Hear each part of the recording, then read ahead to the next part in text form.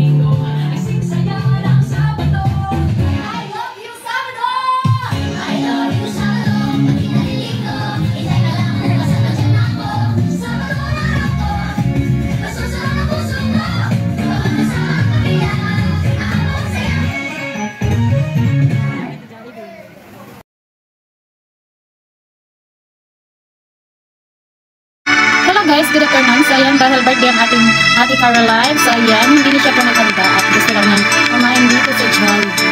Lunchtime. Ayan, oh, ang birthday celebrant. Busy busy. So ayan guys, enjoy watching. At napaka-special yung birthday guys kasi nag-dance si Jollibee. O diba? Nasa araw na So ayan guys.